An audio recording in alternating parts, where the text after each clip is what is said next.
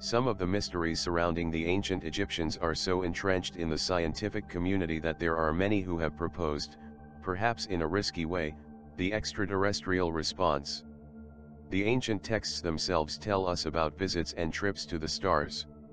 The Book of the Celestial Cow tells us how the original gods came from heaven and, the pyramid texts describe in detail how Pharaoh could travel to the stars in the so-called ascension texts. But beyond the subjective interpretation that we want to give these religious documents, the truth is that the traces of an extraterrestrial reality in pharaonic Egypt are more abundant than we might believe. The gods that came from the stars, the texts of the pyramids are the oldest religious texts of humanity. They appear for the first time in the Pyramid of Unas in Saqqara, 2350 before Christ. Its content is completely stellar.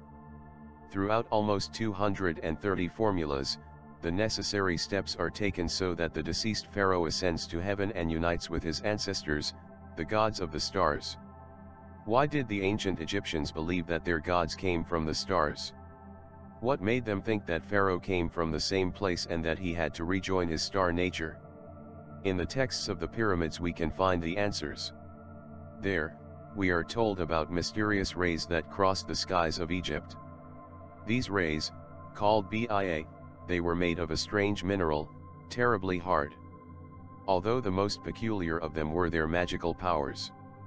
The Bia, literally the metal of heavens, must have been iron-rich meteorites, the Egyptians saw in them a gesture of grace on the part of the celestial gods, the same ones that thousands of years before descended on earth to create civilization. Today we know that many of these meteorites were deified and worshipped in temples.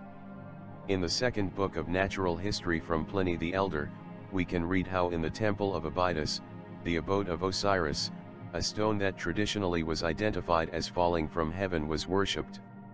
Other texts tell us that Abydos worshipped one of the most important relics of Osiris, his head.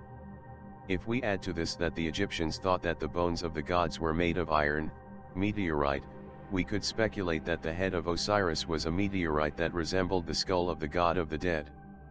The material was sacred for the Egyptians, they used for the making of magic tools used in their rituals.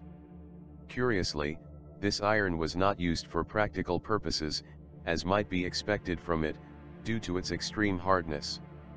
The Egyptians understood that their power lay in the very essence of the material and, above all, in the magical place from which it came, the heaven of the gods.